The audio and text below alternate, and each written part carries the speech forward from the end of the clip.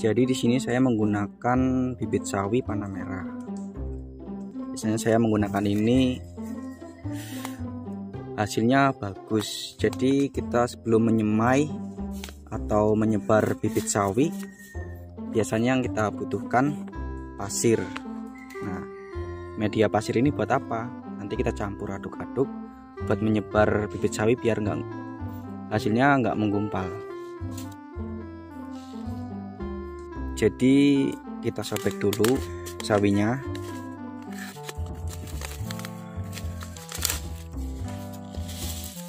Kita tabur.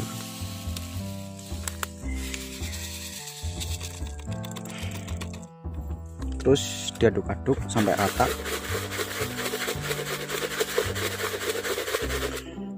Kan udah rata. Nah, nanti kita sebar. Hasilnya kayak gini.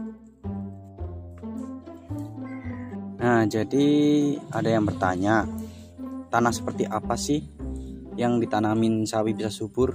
Nah, jadi begini. Tanah yang subur kayak gini. Jadi kita genggam pun dia enak dihancurin lagi. Ini bagus banget buat tanaman sawi. Jadi gembur. Kita genggam balik lagi. Ini yang tanah yang bagus buat tanam sawi. Sebelum kita nyebar semayan sawi, yang kita butuhkan juga ini kotoran hewan. Ini kotoran ayam ya, yang udah dicampur sama apa ya? Kalau bahasa sini sih merang atau kulit padi. Jadi ini tadi yang bibit sawi yang udah dicampur sama pasir, habis ini kita sebar. Nah, ini lahannya. Mari kita sebar.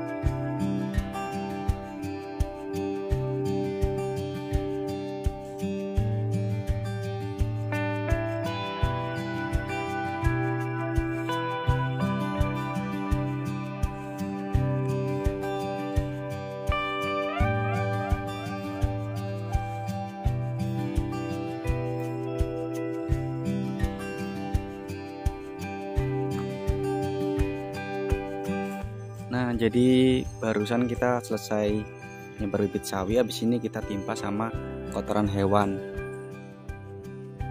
buat nutupin semayan sawi tadi. Caranya begini.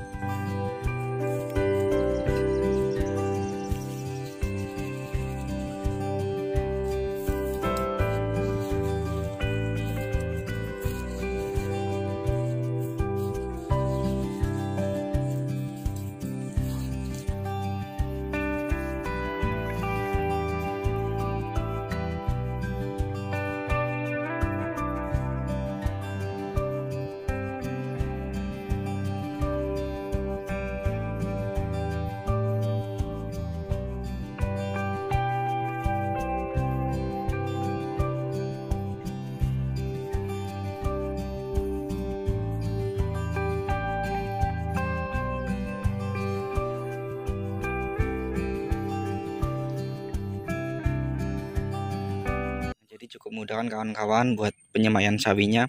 Ini kan sudah rata. Nah, begini contohnya tadi. Ini udah rata semua.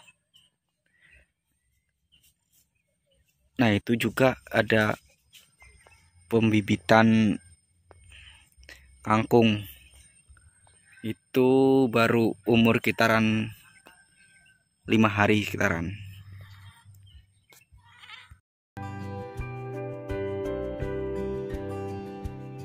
Jadi kayak gini pertumbuhannya ini umur sekitaran tiga hari yang kita semai kemarin.